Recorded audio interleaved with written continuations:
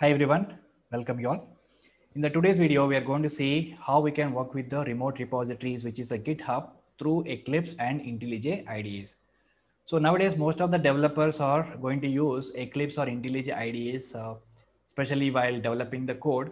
So those IDEs are by default provided certain number of uh, UI options without using any, without executing any commands through command prompt. So we can just use those GUI options and we can easily work with the remote repositories. We can clone the repository and we can push the code, we can pull the code. So all those commands we can execute within IDE itself without opening any command prompt.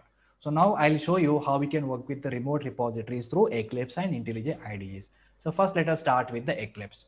So for that, what I will do is let me just create a new repository in the GitHub and I will clone it into the IDE. So let me just create a new repository. So I already log into my uh, GitHub account. So here, let me just create a new remote repository. If you're not having an account, you have to create, uh, you have to sign up and create a new GitHub account, which is already explained in my previous video.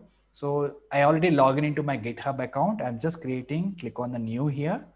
And once you click on the new, I'm just giving some repository name. So here I'm giving, so test repo. Okay, so test repo, this is the name of the repository which I'm giving. So, and this is a public repository currently I'm creating and just say create repository.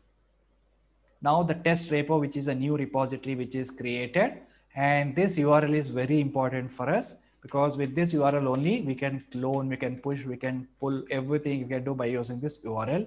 So let us uh, copy this URL here. This is your remote repository URL. So as soon as you create this remote repository, I don't have any files in it. So let us uh, uh, create a small file here and then I'll clone it. So how to create a new file, just clicking on create a new file. And here I'm giving a file name called, uh, okay. So I say test one and I'm writing something called this is a test one. So you can create any file like Java files or Python files or any other files, text files, any files or Excel files, Word files, all kinds are accepted here. You can create any file. So this is a test one. I just added only one single line and I'm committing the new file. Okay, this is a simple base uh, repository which is available, available in my uh, GitHub, which is a main branch currently, which is in the main branch. Okay. Now I want to clone this repository into my IDE. So let's work with the Eclipse now. So now let us right click here, import. Okay. Now let me show you how we can work with the remote repositories using Eclipse. So here I have Eclipse, which is already launched. Now I want to clone my remote repository. So for that, what I have to do is here you can use go to file and import option is available or you can just right click on the project explorer just click on the import and once you have done the import you can select one uh, one of the option from the git you can see here in the git you can see uh, projects from git project from git with a smart import you can just select the first one projects from git and once you click on the next and here it will show you two options existing local repository or clone url so URL, you have to clone. So select this clone URL and click on the next. And here we have to provide the uh, remote repository URL. So you have to copy this before and the same URL you have to paste it over here in the URA and which will automatically get the host and repository path and everything. So once you get this, you have to just click on the next. So once you click on the next, which will automatically get the branch, which is already available in your remote repository currently, which is having main branch. And if it is there, there is any master branch, which will get it here. So once get this one here, then click on the next. So now this is a local directory, which will be created for your test repository. So remote repository is cloned in this location. And as soon as you get this, this is the uh, default branch, which is the main branch, and then click on the next. So once you have done this, uh, you can see multiple options here. This is our working tree and import as general project. You can select one of them. So import existing Eclipse project or import using a new wizard or import as general project. You can select this and click on the next. And this is the name of the project, which will be automatically created in your Eclipse. Then click on the finish. So as soon as you've done this, which is imported or cloned your repository into your local IDE. So this is your IDE, Eclipse IDE, and uh, the local repository also automatically created for this project. So currently how many files we have in this project? Only one file. When I open test one, so currently we have only one file, one single line in the file. So this is a process of cloning in, uh, in Eclipse IDE. We can use that option. You can simply go through import, right click import, and uh, this is the option you have to use project from Git. And then we need to go through the navigation. So once you get the file, now I want to do some modifications here. So let me just uh, add few lines here like this, three, four, five lines added. So test one, let's say test two, test three, test four, and test file. So I have added a few lines of code. So even if you have a Java classes also, the same process you have to follow. So here I'm just uh, for demonstration purpose, I'm just taking a simple file and the same thing you can use it for multiple files and other type of files. So now I have modified this file. I have modified this file.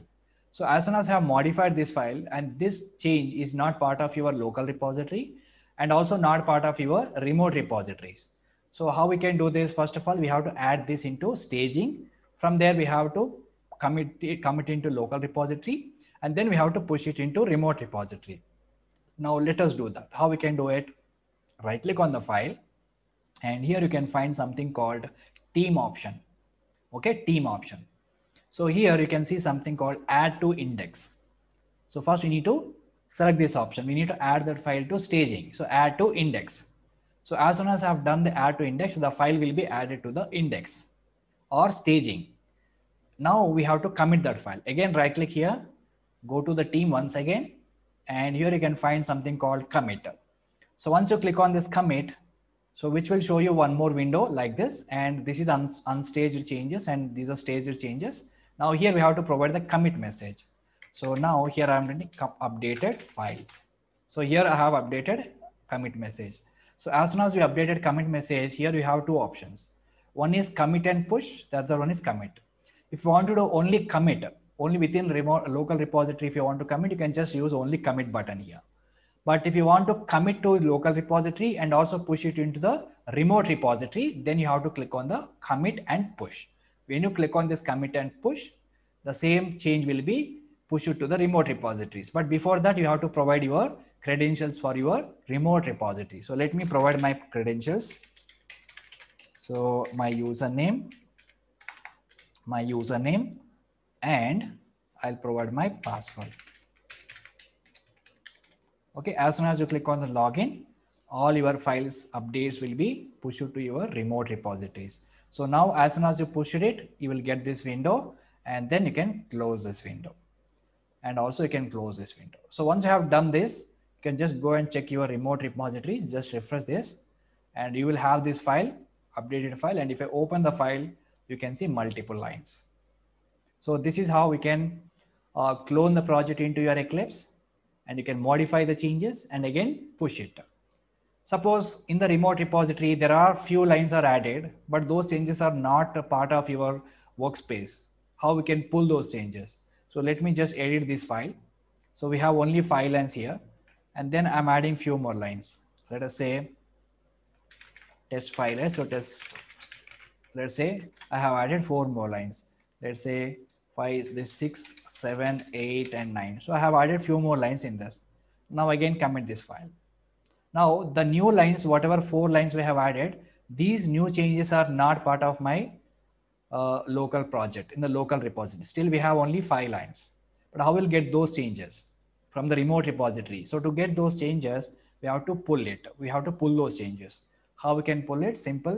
You can right click on the file or you can right click on the project and go to the team. And here you can see pull option here. So once you click on the pull, so which will pull all the changes from the remote repository. So just click on the uh, close. You can see main uh, test one so these are the things and you can just say close and refresh it. So if I just open the file again, so now you can see the new four lines are added. Okay, so this is how we can just uh, pull the changes from the remote repositories.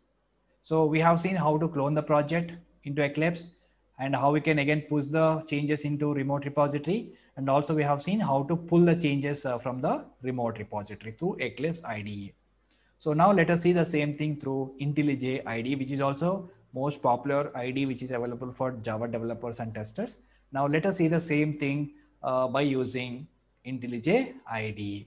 Now let us go back to the remote repository. So I'm just going to edit this file once again. So let's go back and remove all the lines. And currently I have only one line in the file now. Okay, commit changes. So this is again a base project. Test one is my repository name and uh, test one is my file name. Under test repo is my repository name. And currently I have only one single file which contains a small text.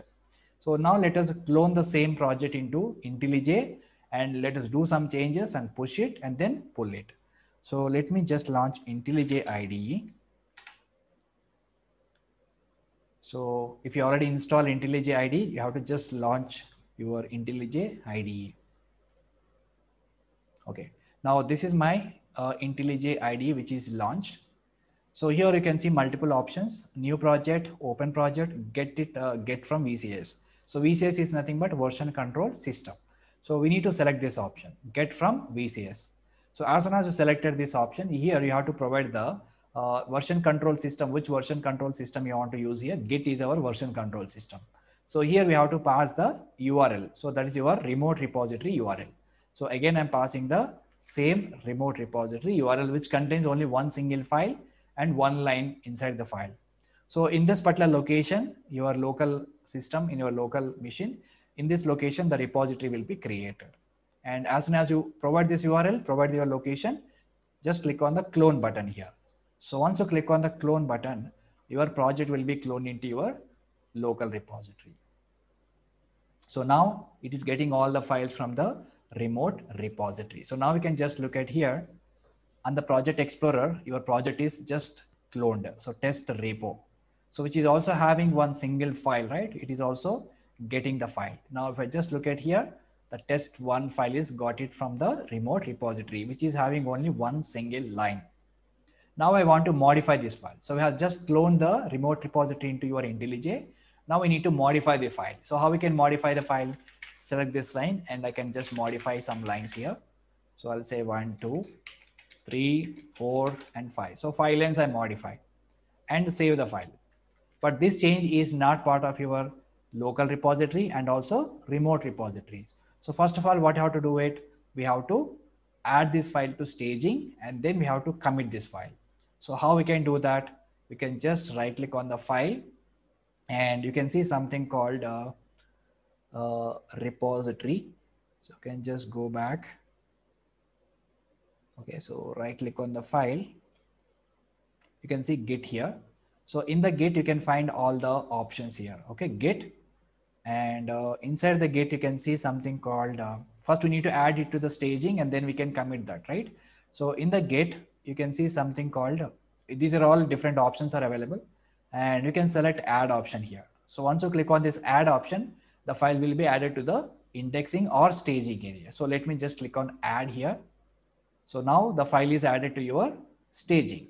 Okay, so once it is added to the staging, what's the next thing? We have to commit.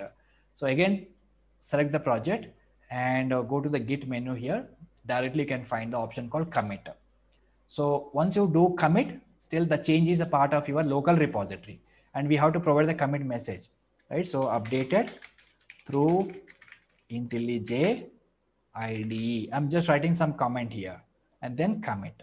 And again, there are two options are available here. You can commit means if I click on only commit, the file will be committed within your local repository. But when you do commit and push, the same file will be committed and pushed to the remote repository. So first let us do only commit. So I'm just clicking on commit. So now the file is committed. So once the file is committed, then we have to push it into remote repository. So how we can push it to the remote repository? Again, select the file, go to the git, and here you can see the push option. So just click on the push. So once you click on the push and here uh, this is a file we are going to push and here also you can see the push and force push. So click on the push here. So first time when you do push, it will ask you the credentials and connection between your IntelliJ and uh, GitHub. And once you establish the connection, which will automatically push. Next time onwards, it which will not ask you any credentials because I already provided credential to Git IntelliJ earlier. So it is not asked me to provide the credentials once again. So you can see push one commit to origin main. Now, if I just go back to the remote repository and refresh the file, so now we can see file lines. Previously, we have only one, one line in the file. When you clone this particular file, now it becomes a five lines. Okay, but now uh, let me add a few changes here. So let me add a few more lines and I'll show you, I'll also show you pull command. So six, seven, eight. Now three lines I've added and I'm committing those changes. But these three lines are not there in my local file. If I open my file, only five lines are there. The next three lines are not here. So how we will git them? So we have to pull it. So how we can pull it again? So you can just go to the get and you can see the pull option here. Just directly click on the pull and which one? So from the main branch origin, get to pull origin main. This is a whole command. Then click on the pull button. So as soon as you have done this, all the changes will happen here. And now if I open the file, you can see the three lines here. So this is how we can also use uh, GUI options, which are provided in IDEs to work with the remote repositories, which is GitHub repository. Okay. So now we have seen in this video how to uh, push the, how to clone the project from the remote repository. And we have seen how to push the changes and how to pull the changes through Eclipse and IntelliJ IDEs. Okay. So that's all for this video guys. Thanks for watching.